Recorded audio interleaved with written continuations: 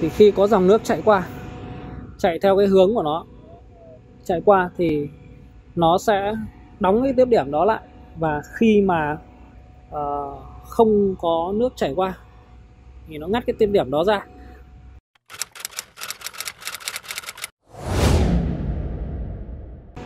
Ờ, xin chào tất cả các bạn nhé Hôm nay mình uh, xin chia sẻ với các bạn về một trong những cái uh, linh kiện mà hay dùng trong ờ, hệ thống ờ, điều hòa trung tâm như là chiller hay là bơm. Đó là chính là flow switch thì đây là một con flow switch đó, thì ờ, flow switch thì nó để làm gì? Thì uh, flow switch này nó có tác dụng là bảo vệ bơm và chống mất nước. Khi mà cái hệ thống của các bạn mất nước ví dụ như bơm mà mất nước mà chạy thì nó sẽ hỏng phớt ngay lập tức. Chỉ chạy trong một thời gian ngắn thôi không có nước là phớt sẽ ra đi. À, thì nó mới sinh ra một cái là flow switch để nó bảo vệ chống mất nước cho cái hệ thống chiller à, hệ thống bơm hay là hệ thống có cái yêu cầu nghiêm ngặt về cái nước. À, ví dụ như máy nén chiller chẳng hạn thì nếu mất nước thì có thể nó sẽ đóng băng ở bên trong cái dàn lạnh ngay lập tức. Cho nên là cái yêu cầu đặt ra như vậy nên là nó phải lắp các flow switch ở đường nước. Thì cái flow switch này thường nó lắp kết hợp với một con dây thời gian.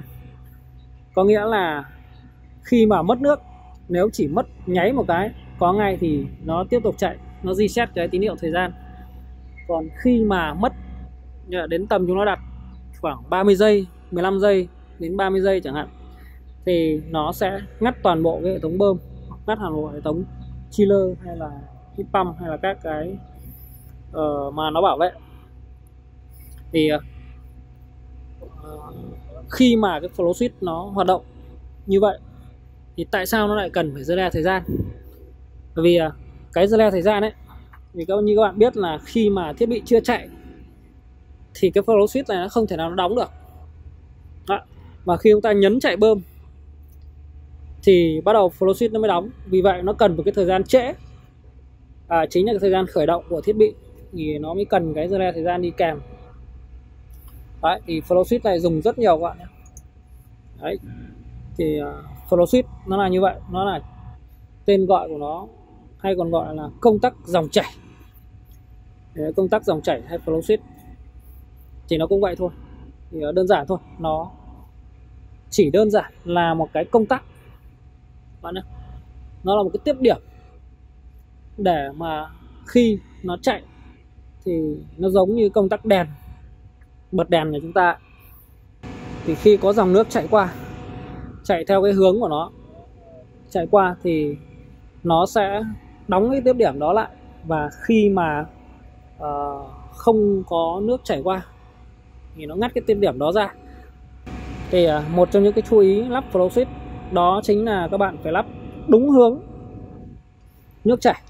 Đấy các bạn nhé các bạn lắp ngược cả toi. Đấy, thì con này nó có hai cái thường nó có hai cái tiếp điểm. Một cái thường đóng và một cái thường mở. Thì à, khi mà có nước thì nó lật trạng thái và khi mà mất nước thì nó trở lại cái trạng thái như ban đầu mà nó chưa làm việc. Đó flow switch nó chỉ đơn giản là như vậy thôi. Ra nó là quá đơn giản nhưng mà nó rất quan trọng. Thì uh, trên các flow này nó có các cái điểm gọi là căn. Các cái uh, mà chúng ta có thể đặt. Ví dụ như là cái ờ, uh, nước của chúng ta mà nó chảy với cái tốc độ nước nhỏ chẳng hạn. Hay cái lưu lượng nhỏ chẳng hạn. Thì uh, chúng ta phải đặt cái độ nhạy nó cao hơn. Là là cái à, nước của chúng ta mà nó uh, chảy với cái lưu lượng lớn hơn. Chúng ta đặt cái độ nhạy nó không cần cao bằng để cái tăng cái tính bảo vệ của nó lên. Đó thì đấy là flow các bạn nhé. Đây dùng rất nhiều. Đây hệ thống đường ống là trên hệ thống đường ống đây.